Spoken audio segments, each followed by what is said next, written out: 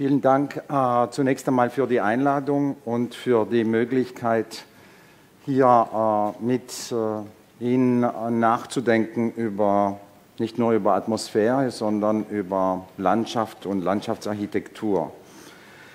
Ähm, Atmosphäre, atmosphärisches, Landschaft, Landschaftsarchitektur, das alles hängt zusammen. Aber wie, auf welche Weise? Woher kommt eigentlich dieser Begriff der Atmosphäre und weswegen ist er immer wichtiger? Deswegen sprechen wir so viel heute über äh, Atmosphärisches, über Dinge, die uns nicht nur rational ansprechen, sondern eben auf andere Weise. Eine erste Möglichkeit, diese Aktualität von Atmosphäre zu situieren, ist, äh, hängt mit der Antike zusammen. Wie so vieles, das uns heute noch prägt, kommt Atmosphäre aus der Antike, 2500 Jahre oder mehr alt. Äh, es ist die Theorie der vier Elemente oder der vier Substanzen. Äh, Empedokles verbinden wir damit, äh, aber auch andere Denker.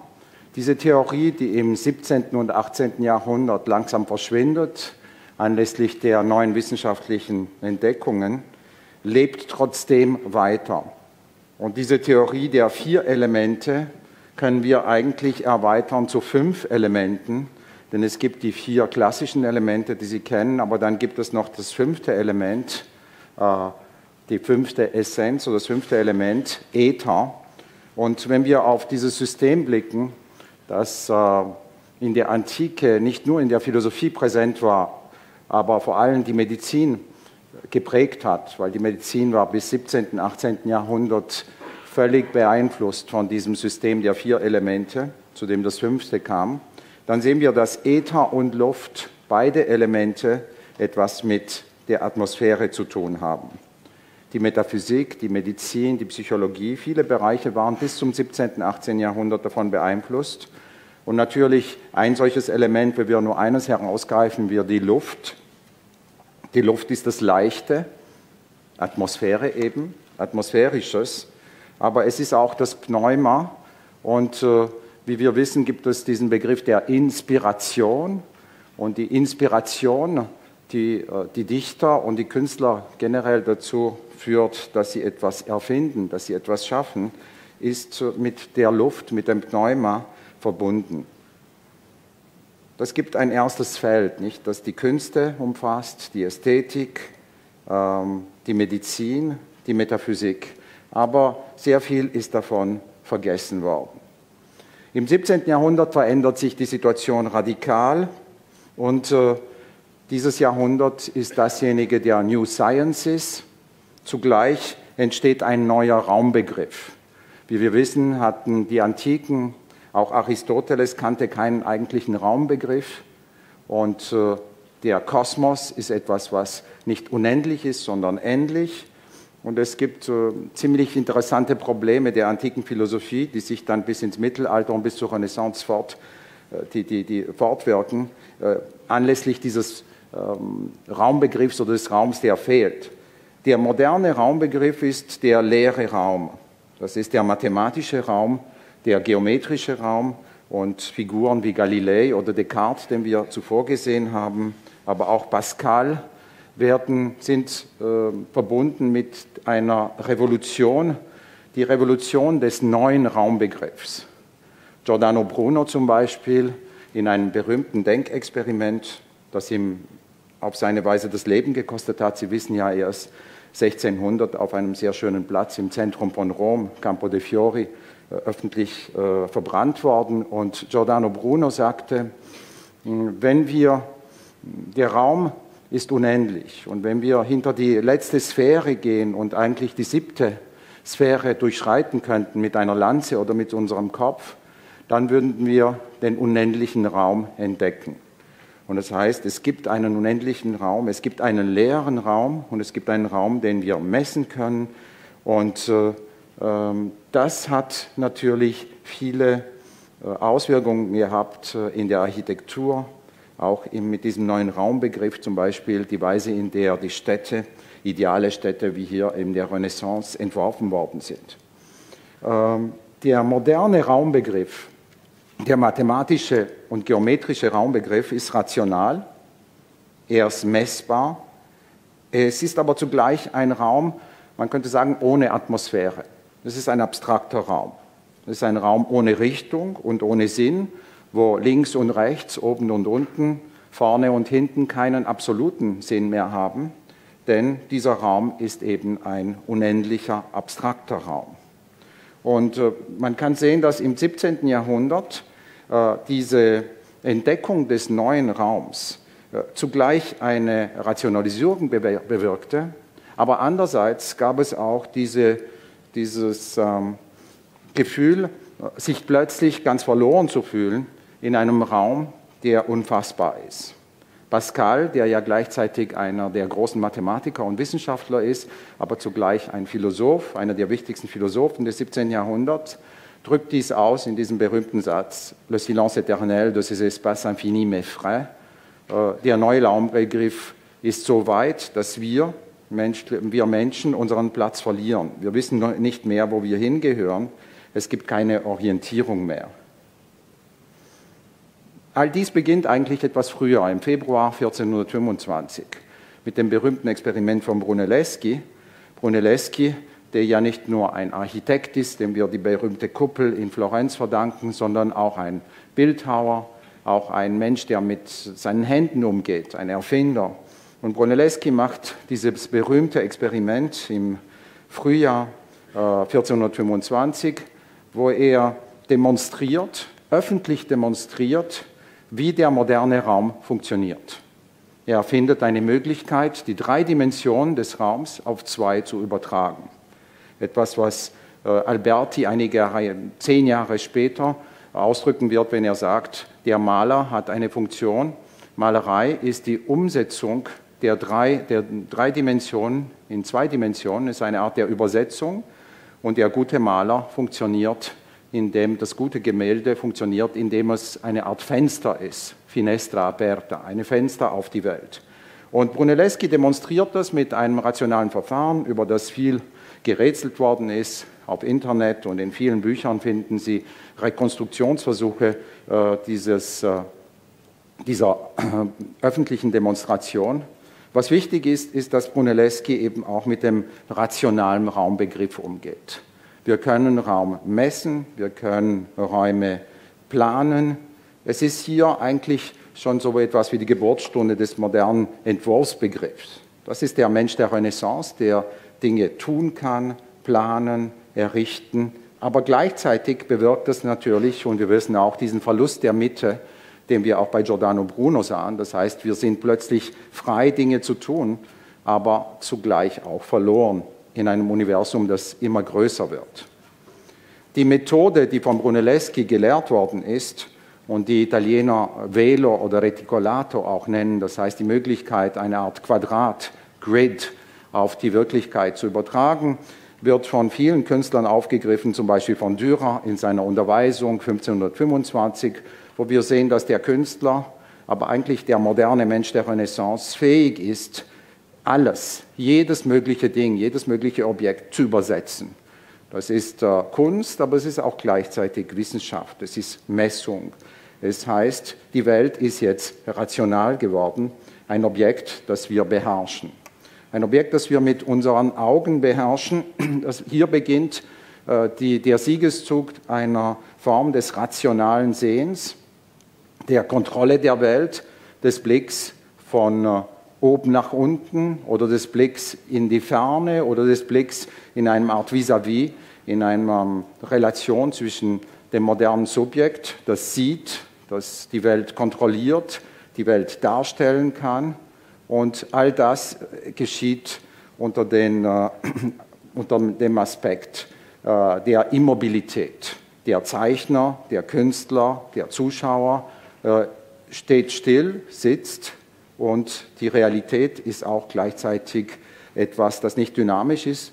Und äh, diese Kontrolle von zwei Polen, die sich gegenüberstehen und die Möglichkeit, sie rational zu kontrollieren, wird eine lange Geschichte haben. Ähm, Im 17. und 18. Jahrhundert werden diese Geräte, die auf Brunelleschi zurückgehen, auf Alberti und auf andere, werden verwendet, um äh, die Dinge zu fassen, um sie zu erfassen. Es ist immer der rationale Raumbegriff, äh, die Möglichkeit ähm, optischer Kontrolle und äh, von Brunelleschi bis zu unseren iPhones oder den Computern ist ja eigentlich nur ein Schritt. Es ist immer die gleiche rationale Möglichkeit, mit Raum umzugehen. Die erste äh, Kameras, die ersten Kameras, Fernsehkameras sehen eigentlich nicht zufällig genauso quadratisch oder rechteckig aus wie äh, Brunellesquis Apparate. Das heißt, wir haben hier, es gibt hier eine Geschichte des Sehens, die natürlich auch sehr viele Implikationen hat, was Landschaft angeht und auch was Landschaftsarchitektur angeht. Und all das ist nicht atmosphärisch, sondern es ist verbunden mit der Abwesenheit von Atmosphäre. Heutzutage sprechen wir viel von Atmosphäre. Wir könnten auch das Wort Stimmung zum Teil als äh, Synonym verwenden. Woher kommt dieser Begriff? Weswegen ist er im 20. Jahrhundert vor allem wichtig geworden? Einer der ersten Väter und einer der ersten Quellen ist Georg Simmel. Äh, hier ein kurzes Zitat aus einem berühmten Artikel Philosophie der Landschaft, einem wirklichen Artikel, wichtigen Artikel. Äh, viele Leute, die mit Landschaftstheorie zu tun haben, kommen auf diesen äh, kurzen Text von Simmel zurück, in dem wirklich schon Wesentliches steht. Und äh, hier sehen wir, dass Landschaft eben etwas Stimmungsmäßiges ist. Etwas, weil ein stimmungsmäßiges Für sich sein würde Landschaft charakterisieren. Das heißt, Landschaft ist nicht das Rationale, nicht das Alltägliche, sondern es ist etwas, was mit uns zu tun hat, mit Subjekten, mit dem Ich, das Landschaft generiert. Ein anderer, eine andere Persönlichkeit und ein anderer Denker, der, äh, dem wir diese Aktualität des Atmosphärischen verdranken, ist Martin Heidegger. Äh, ich zeige bewusst dieses Foto, wo auch Atmosphärisches mit äh, äh zum Ausdruck kommt. Heidegger, Totnauberg, die ganze Stilisier, diese stilisierte Figur des Philosophen mit seiner heimatlichen und natürlichen Atmosphäre. Vielleicht ist das alles Theater, wahrscheinlich. Aber Heidegger ist einer der Philosophen, der, indem er in Sein und Zeit Befindlichkeit thematisiert hat, äh, eigentlich schon den Weg zeigt, wie man vom abstrakten Subjektbegriff wegkommt. Der moderne Subjektbegriff äh, kommt von Descartes, seinem Discours de la Méthode. Es ist ein denkendes Wesen, abstrakt, leer, rational, mathematisch. Und Heidegger in seinem revolutionären Buch Sein und Zeit korrigiert die Geschichte der Philosophie und will, dass wir umdenken. Und Kategorien wie Befindlichkeit werden dann sehr, sehr wichtig bei ihm, aber auch Stimmung. Und äh, ähm, das hat natürlich die meisten Denker, die mit Atmosphäre zu tun haben, äh, beeinflusst. Ein anderer wichtiger Ausgangspunkt ist Walter Benjamin. Walter Benjamin interessanterweise in dem berühmten Buch zum Kunstwerk, das heißt zur technischen Reproduzierbarkeit der Kunstwerke. Und Benjamin äh, kritisiert bekannterweise äh, den Verlust der Aura. Für Benjamin ist die Moderne, vor allem das 20. Jahrhundert, dadurch gekennzeichnet, dass die Aura der Dinge verloren geht. Die Aura geht verloren, weil Dinge eben reproduziert werden könnten, während in der Vergangenheit waren Kunstwerke auratisch, sie strahlten gewissermaßen etwas aus. Und die Moderne durch die Möglichkeit, technisch, industriell Dinge zu reproduzieren, ist durch diesen Verlust der Aura gekennzeichnet. Aber indem Benjamin über Aura nachdenkt, äh, hat er diesen Begriff, diesen eigentlich äh, anachronistischen Begriff, denn er stammt vor allem aus der byzantinischen Malerei, eine neue Karriere verschaffen. Und es gibt diesen berühmten, dieses berühmte Zitat, von dem immer wieder nur der erste Teil zitiert wird, einmalige Erscheinung einer Ferne, so nahe sie sein mag. Aber wir sehen, dass zugleich Benjamin interessanterweise über Landschaften spricht. Übrigens ist es einer der seltenen Zitate, wo er über Landschaft spricht. Benjamin, der von Baudelaire beeinflusst ist, ist jemand, der nicht sehr nah, für den die Natur und die Landschaft eigentlich eher fremd sind. Er ist ein typischer Stadtmensch und auch in seinen Reflexionen und in seiner Philosophie. Aber hier sehen wir sofort, wenn er über Aura nachdenkt, da kommen Dinge in den Blick wie ein Sommermittag, ein Gebirgszug, Horizont, das heißt eben Landschaft. Und wir sehen das bei Benjamin, aber auch, man könnte es zeigen, bei Heidegger, die Landschaft und die Atmosphäre äh, und die Stimmung zusammenhängen. Ähm, wir haben schon, äh, es, Gernot Böhme ist schon erwähnt worden, ist ein deutscher Philosoph, der sich seit zwei Jahrzehnten mit Atmosphäre beschäftigt. Es sind mehrere Bücher von ihm erschienen zur Atmosphäre. Es ist sicherlich der wichtigste Theoretiker, was unseren Begriff angeht. Er ist selbst beeinflusst von Hermann Schmitz, einem gleichfalls deutschen Philosophen, der sich äh, viel mit äh, Atmosphäre beschäftigt hat, äh, mit äh, gewissen, ähm, Schmitz ist ein äh, Theoretiker, der vor allem von der Leibphilosophie beeinflusst ist. Und äh, Sie sehen, wie in diesem Zitat, wie er vom Leibbegriff ausgehend versucht, äh, das Subjekt, das Ich, ganz neu zu definieren. Das ist einer der wesentlichen Bücher von Hermann Schmitz. Also für all die, die noch etwas nachlesen wollen auch und äh, sich äh, näher beschäftigen wollen mit Atmosphären.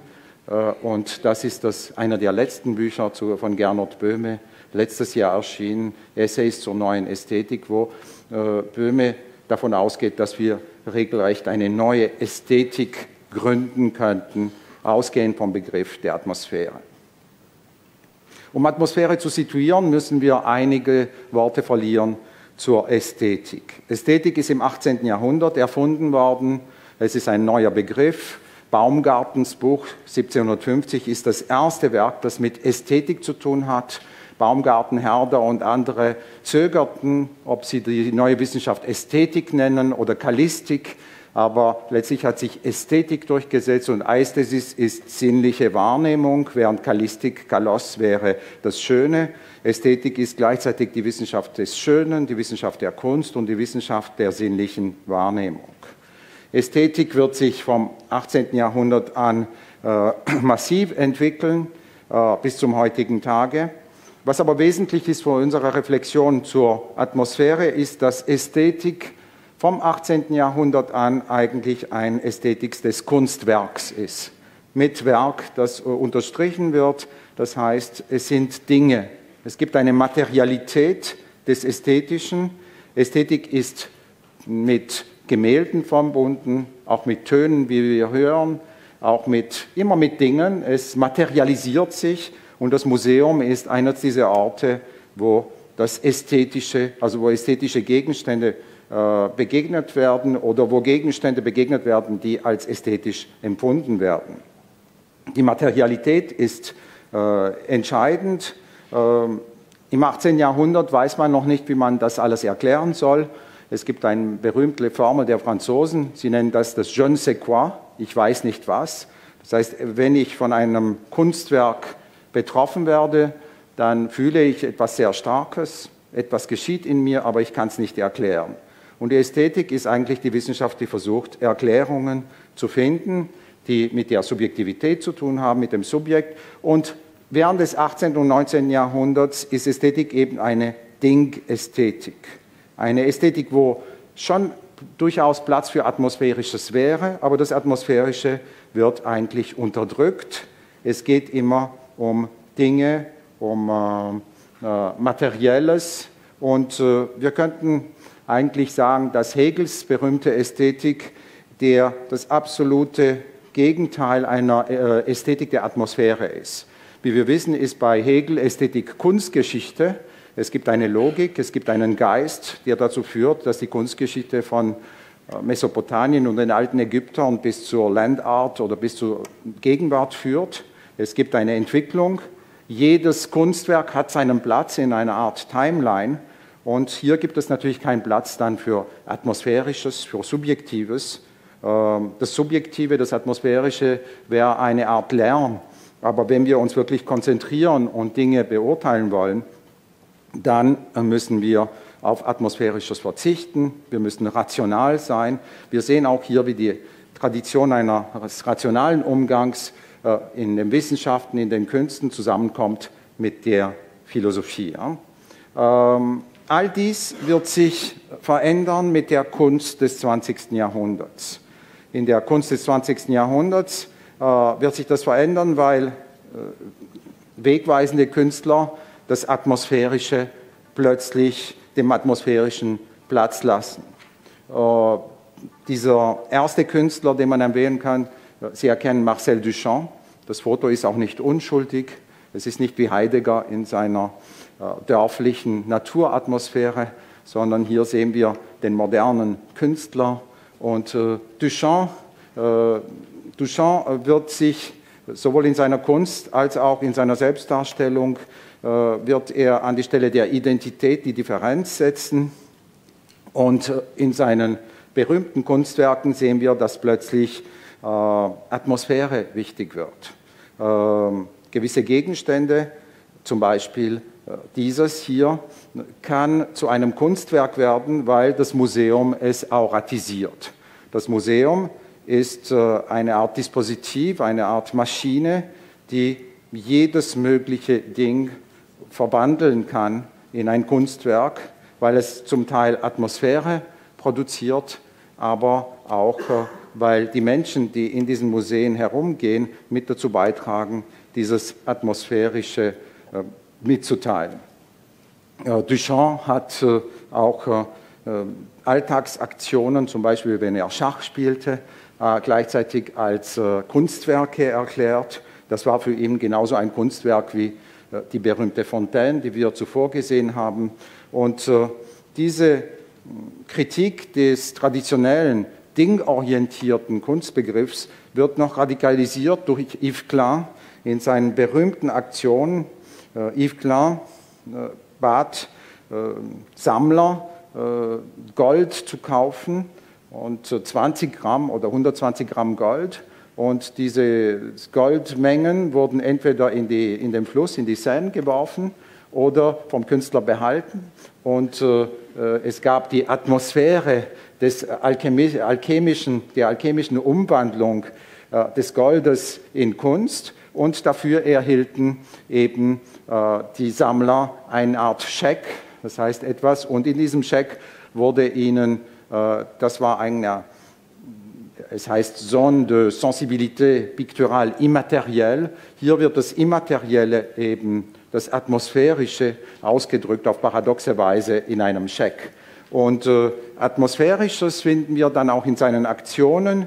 Äh, Yves Klein ist nur einer der vielen Künstler in den 50er und 60er Jahren, die eben Happenings erfinden, wo wir sehen, dass er auf den Pinsel verzichtet äh, der moderne Künstler braucht keinen Pinsel, keine Instrumente mehr, sondern er verwendet zum Beispiel hier die Körper von Frauen, die mit dem berühmten äh, Blau von Yves Klein die Bilder schaffen, die dann zu den neuen Kunstwerken werden. Und in dieser berühmten Fotomontage von Yves Klein sehen wir auch, dass er sich selbst als Künstler sieht in einer ähm, neuen Situation, wo der moderne Künstler irgendwie ort, ortlos wird. Wo, wo ist der Platz des Künstlers? Äh, was tut er? Ist das noch rational äh, zugänglich? Viele Fragen, die eine Art solcher Kunst äh, provozieren. Äh, in der Documenta äh, werden die österreichischen Architekten, Haus Rucker und Co. zum Beispiel auf solche Dinge zurückkommen, wo wir auch sehen, dass hier sogar der Begriff der Atmosphäre, der Luft plötzlich äh, wieder sehr zentral wird, auch äh, indem sich der moderne Künstler äh, sozusagen in Gefahr setzt, auch seinen eigenen Körper äh, ausstellt. Und äh, man könnte viele andere Beispiele zeigen, vor allem im Happening, das ist Jim Dine, äh, Jim Dine, der äh, einen Autounfall hatte und dieser Autounfall wurde der inszeniert, gleichzeitig als eine Art Selbsttherapie. Und äh, hier ist die Atmosphäre des Happenings natürlich sehr, das Wichtigste. Es geht nicht mehr um Materialität, es geht nicht mehr um Bilder, die äh, auf ewige Zeit in unsere Museen kommen, sondern um etwas, was mitgeteilt wird, miterlebt wird. Theatralisch, momentan, ephemer, auch äh, eben sehr, sehr starke Gefühle bewirkend.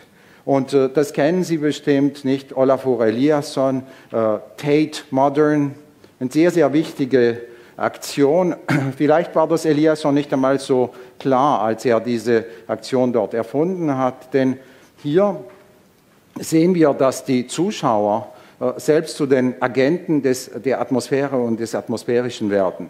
Wir alle, Beuys sagte einmal, jeder Mensch ist ein Künstler. Und äh, Andy Warhol hat ja auch Ähnliches gesagt, dass jeder Mensch 15 Minuten Berühmtheit hätte heute. Und hier sehen wir, dass äh, wir alle als Zuschauer tragen dazu bei, dass das Museum überhaupt äh, existiert. Und unser Dasein, das heißt die Tatsache, dass wir da sind, in diesem Ort, zu diesem Moment, äh, macht das Kunstwerk zu dem, was es ist. Und das alles hat mit Atmosphäre zu tun. Und Atmosphäre, äh, auch hier kommen eigentlich die vier Elemente zurück, die Sonne, aber auch die Luft. Ähm, und wir sind in keinem neutralen Raum. Äh, das hat mit dem Erhabenen zu tun, denn wir sind in einer ehemaligen Kraftwerk, übrigens ein sehr schönes Gebäude, auch vor der äh, Restrukturierung durch Herzog de Meuron. Und in diesem alten Saal, wo es um Elektrizität geht und um Energie, ähm, Sie sehen auch andere Beispiele berühmter Kraftwerke in London, wo wir sehen, dass die Architektur der Elektrizität äh, im 20. Jahrhundert äh, zu einer Architektur des Erhabenen wird. Und diese Architektur des Erhabenen hat äh, Eliasson ausgenutzt. Und es ist, es ist auch voller Zitate. Wenn, wir, wenn man da war in dieser Halle, eigentlich ist man ja gar nicht noch in Tate Modern, man ist in einer Art Vorhalle, aber alle Leute drängten sich dorthin und saßen dort. Und äh, man partizipierte an einer Atmosphäre, die kollektiv war, aber zugleich auch qua Zitat und Intertextualität an der Geschichte der Kunst. Das ist Impression, Impression Soleil Levant, äh, das berühmte äh, Gemälde von Monet, das überhaupt zum Impressionismus geführt hat, weil Impressionismus ist mit diesem Bild verbunden worden, das zum ersten Mal in einem Fotoatelier gezeigt worden ist aber man könnte auch an Caspar David Friedrich denken. Das heißt, wir sehen, dass diese moderne Aktion, die Eliasson äh, inszeniert hat im Tate Modern und die so viel mit Atmosphäre zu tun hat, eigentlich auch romantische Reminiszenzen hat, wie hier Caspar David Friedrich, wahrscheinlich seine Frau Caroline Bommer, die morgens die Sonne grüßt. Das heißt, und hier ist so etwas wie das ist wirklich Signatur des Atmosphärischen. Auf welche Weise werden wir, äh, äh werden wir ähm, beeinflusst? Äh, sind wir ähm, der ausgesetzt, äh, sowohl kollektiv als auch individuell diesen neuen Atmosphäre? Natürlich äh, von, ich habe vor allem Beispiele aus der Kunst gezeigt, aus der Kunstszene, aus der bildenden Kunst, aber man könnte auch an die Musik denken zum Beispiel an Bayreuth geht es eigentlich nicht im Gesamtkunstwerk, wie Wagner es sich vorstellte. Und in diesen Momenten, die bis zum heutigen Tage sehr wichtig sind, im Festspielhaus in Bayreuth geht es nicht eigentlich mehr um Atmosphäre und nicht um ähm, und, ähm, und nicht nur um Musik und nicht nur um Inhalte. Und äh, man könnte hier eine Semiotik des Festspielhauses vorstellen und zeigen, wie einerseits das Atmosphärische extrem wichtig ist, zusammen zu sein, kollektiv an etwas zu partizipieren, aber gleichzeitig auch äh, die, das Diktat der, des Rationalen und des Sehens trotzdem noch vorhanden ist. Das Festspielhaus ist ein Theater und es ist ein Ort, wo man sich gegenüber sitzt. Und es ist eine Art Fernseher, es ist ja auch eine Art Bildschirm. Und dieser Bildschirm wird ja auch benutzt und äh, so ist die Kunst gleichzeitig rational, gleichzeitig von der Sicht geregelt, aber dann gibt es auch das Irrationale, das wichtig wird. Und man könnte sich fragen, wo ist atmosphärisches wichtiger? In Bayreuth, im Festspielhaus oder äh, in einem modernen Kino in Kalifornien in den 60er, 70er Jahren? Hier geht es ja auch um Atmosphärisches. Man schaut einen Film an, die Hormone sind glücklich, alles bewegt sich zu bewegen in diesen Kinos, nicht in diesen Autokinos. Und äh, hier geht es um Atmosphären und Film ist ja äh, ganz äh, massiv, hat mit Atmosphären, mit Gefühlen zu tun, mit äh, dem Emotionalen. Es ist ja die Kunstform, die das Emotionale am meisten äh, Einerseits das Atmosphärische, andererseits das Rationale ist Jacques Tati in seinem wunderbaren Film Playtime. Ähm, und im Playtime sehen wir eben die modernen Mittel der Darstellung, Fernseher, äh, und jeder sitzt in seinem modernen Raum, modernen, rationalen Raum. Tati empfindet das ja als völlig unlebbar. Moderne heißt keine Atmosphäre, Abwesenheit von Atmosphäre und trotzdem geschieht etwas. Und das sind die berühmten Bilder, die uns Tati in Playtime zeigt, von der modernen Architektur und vom modernen Städtebau, moderne Räume ohne Atmosphäre. Die moderne, das sind Container. Und der Container ist eigentlich eine Art äh, Signatur der Moderne, es ist ein rationaler Raum ohne Atmosphäre, ohne Stimmung, aber unendlich multiplizierbar. Und äh, äh in dem Playtime äh, Playtime spricht von Paris, aber wir sehen nie Paris. Es gibt nie die Atmosphäre von Paris. Es gibt keine Gerüche, auch nicht indirekt natürlich mit visuellen Mitteln. Wir sind in, den, in der modernen Stadt, die völlig ohne Atmosphäre auskommt. Und eines der stärksten Bilder und Szenen von äh, Playtime ist dieses, wo die Moderne ein Karussell ist. Das heißt, eine Maschine, wo wir uns alle im Kreis herumdrehen, sinnlos, ohne Richtung das ist eine radikale Kritik der Moderne. Ähm, all diese Dinge, Kunst des 20. Jahrhunderts, Duchamp, aber auch Benjamin, Heidegger, Georg Simmel äh, und vieles andere kommt eigentlich von Friedrich Nietzsche. Nietzsche ist der Philosoph, der äh, wirklich am Anfang einer radikalen Kritik des Subjekts steht und den Leibbegriff thematisiert hat. Äh, im Mittelpunkt jeder Philosophie der Atmosphäre steckt der Leibbegriff. Was ist der Leib? Der Leib ist all das, was hinzukommt zum Rationalen, zum Gehirn, zum Bewusstsein, zur Kontrolle. Wir sind sicherlich äh, selbstbewusst, wir sind rationale Wesen, wir sind vor allem von der Sicht kontrolliert, aber wir sind zugleich, wie wir im Zarathustra lesen können oder in anderen Werken von Nietzsche, wir sind zugleich ein Leib. Das heißt, wir sind mehr als nur äh, Rationalität, Bewusstsein, Selbstbewusstsein. Wir sind immer mehr. Und äh, Nietzsche ist einer der Philosophen, der uns zeigt, dass es einerseits eine Tradition gibt des kartesianischen europäischen Subjekts, des modernen Subjekts. Dieses Subjekt ist das Subjekt, das die Welt beherrscht, in Architektur, Landschaftsarchitektur, Raumplanung, das ist alles, was mit Planung zu tun hat. Das ist die gebaute Welt, Container, das ist die Welt der Produktion, auch all das, was wir unseren Studenten beibringen, Statik, Kontrolle, Mathematik, Geometrie. Aber andererseits gibt es etwas eben, das mit Atmosphäre zu tun hat. Es gibt den Leib.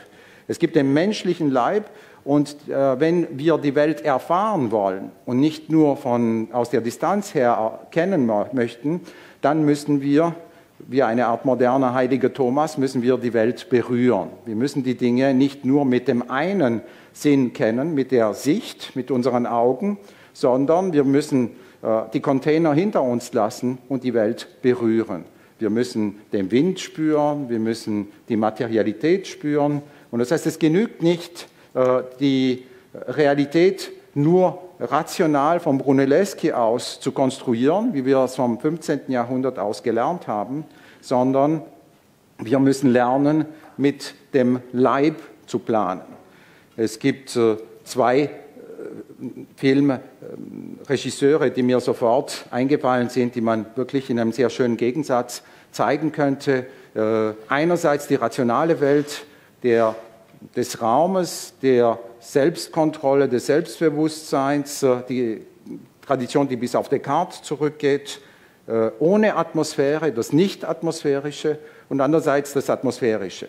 Für das Nicht-Atmosphärische, das Rationale könnte man an das berühmte Koyaanisqatsi denken, diesen Collagefilm eines amerikanischen Künstlers, wo wir sehen, wie die modernen Städte äh, wirklich äh, völlig äh, von der Hand des Menschen ge gezeichnet werden.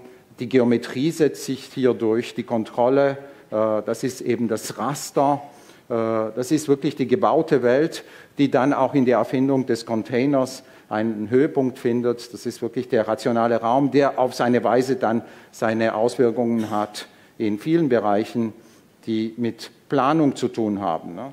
Das ist Koyanis Katsi, eine Szene und äh, dieser berühmte Film, äh, eine Art Collage dieses amerikanischen Künstlers, wo wir sehen, äh, wie unsere Städte funktionieren, was in ihnen geschieht. Und dem könnten wir einen Film von Bellatar, T-A-R-R, entgegensetzen, wo sofort es nur um Atmosphärisches geht. Das heißt, wo wir sehen, dass der Leib, der Mensch als Leib, als empfindliches Wesen äh, präsent wird. Ähm, was können wir damit im Bereich von Architektur und Landschaftsarchitektur tun? Können wir, kann aus, äh, können wir von diesem Leibbegriff ausgehend der bei Nietzsche wichtig wird, bei Simmel, bei Benjamin und auch bei Gernot Böhme. Das heißt, dass wir sagen, wir sind nicht nur rationale Wesen, wir sind auch Wesen, mit, äh, äh, die leibhaft, total die Welt erfassen. Können wir anders planen? Was können wir tun? Auf welche Weise können wir äh, unsere Praxis entgrenzen? Können wir ein, sozusagen neue Paradigmen in die Landschaftsarchitektur und auch in die Architektur hineinführen? Ähm, eine erste Idee, die sofort in den Sinn kommt, ist die Tatsache, dass äh, Architektur gegenwärtig äh, sehr viel mit Landschaft zu tun hat. Natürlich gibt es äh, nach wie vor den Gegensatz zwischen Architektur und Landschaftsarchitektur, auch in der Praxis, aber interessante architektonische Werke werden immer landschaftlicher. Das ist Toyo Ito zum Beispiel, Green Green Park. Und hier sehen wir, dass die Architektur, das Gebaute, das Rationale, das seine Funktion hat, eben nicht nur äh, Funktion ist, sondern sich zugleich in Landschaft verwandelt. Und wenn ein Bau in Land zur Landschaft wird, dann heißt das, dass er mit dem menschlichen Körper rechnet. Und der menschliche Körper ist eben immer wir, das heißt jemand, der einen Raum durchquert und für den äh, jemand, der nicht abstrakt ist, der nicht in Container leben möchte, sondern für den die Welt jederzeit von diesem Punkt hier jetzt ich ausgehend äh, sich gibt. Und äh, in diesem interessanten Werk sehen wir, was ist das? Ist das Architektur? Ist das Architektur und Landschaftsarchitektur? Ist das, äh, es ist ein hybrides Werk, aber wo gerade der menschliche Leib und die leibhaften Funktionen nicht nur die Sicht, sondern die anderen Sinne mit berücksichtigt werden. Und ähnliches kann man in der sehr viel näher äh, zu uns äh, erleben, wenn man nach äh, Lausanne geht, in den berühmten Bau von Sana, in der EPFL. Eigentlich ein erstaunliches, äh, ein ziemlich erstaunlicher Bau. Die EPFL hat sich wie ein Prinz des 13. Jahrhunderts erlaubt, einen Bau zu kreieren, der überhaupt keinen Sinn hat. Ich meine, es gibt eine kleine Bibliothek, ein Restaurant und außerdem nur hm, Studenten, die herumliegen. Nicht? Und äh, eigentlich hat es ein sinnloser Raum. Aber dieser sinnlose Raum gibt der EPFL den Sinn. Und wie ein Prinz der Renaissance, und die Prinzen der Renaissance hatten diesen Begriff der Sprezzatura, das heißt, ich kann mir alles erlauben, hat sich die EPFL diesen Bau erlaubt, der sehr teuer war, Rolex Center. Und äh, es ist interessant, weil dort wird die Architektur zur Landschaft. Das heißt, man muss herumgehen. Und es gibt eben Atmosphären. Und äh, das ist ein Bau, der symbolisch ganz und total mit Atmosphären zu tun hat. Die Funktion ist zweit- oder drittrangig, das Atmosphärische ist das Entscheidende. Und das Atmosphärische heißt, es ist ein Raum, den Körper entdecken können. Jeder individuell, aber auch kollektiv, äh, morgens und nachmittags und nachts. Dieser Raum ist fast immer offen. Und äh, wir sehen, dass die Architekten angefangen haben, diese Dinge ernst zu nehmen. Auch Snoheta, zum Beispiel in ihrem Projekt für Ras Al Khaimah, äh, dieser neuen Hauptstadt der Arabischen Emirate, wo die Architektur plötzlich etwas anderes wird. Architektur ist nicht nur das Rationale, sondern es wird etwas äh, ganz äh, anderes. Was tut die Landschaftsarchitektur? Äh, was kann sie tun? Ne? Äh, wie kann sie damit umgehen? Ne? Ich komme fast zum Schluss, ja? Ist es okay? Ähm, natürlich wissen wir nicht genau, was Landschaftsarchitektur ist. Es ist nicht leicht zu sagen, was Landschaftsarchitektur ist. Ich äh, mache so ein Spielchen.